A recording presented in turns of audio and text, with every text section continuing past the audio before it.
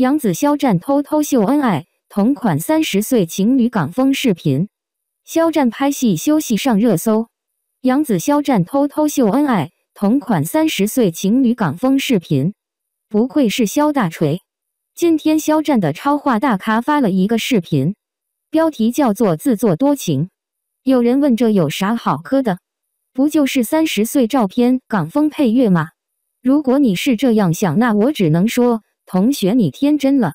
还记得上个月杨紫的北京胡同大片吗？还有前两天发布的在生日时同时间拍摄的超市港风照片，就很统一的港风。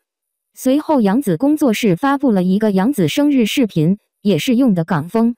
重点的重点就在于他所用的配乐就是《自作多情》这首歌。感叹号！在今天杨紫回京之际。肥虾放出同款三十岁大片港风视频，暗示的还不明显吗？理智的虾还看不懂吗？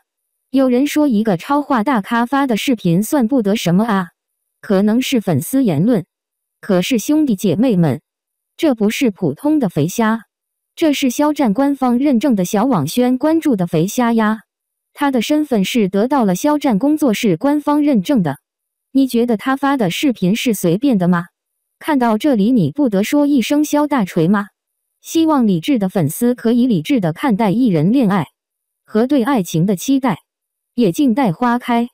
肖战拍戏休息上热搜，他有多少粉丝？对粉丝有多大的影响力？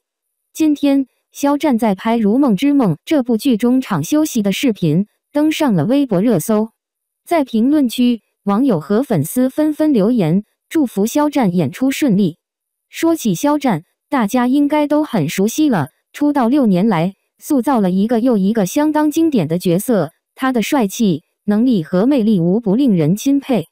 肖战二零一六年九月以少年团主唱担当的身份出道，曾经遭受不少挫折。后来在《陈情令》里饰演魏无羡这个角色，引起了人们的广泛关注。近年来，肖战在内娱的影响力越来越大，圈粉无数。于是有人会问：像肖战这样的大明星，究竟有多少粉丝呢？从新浪微博所有艺人粉丝榜可以看出，肖战的粉丝有接近三千万之多，而且他涨粉速度之快，粉丝互动量之高，都名列前茅。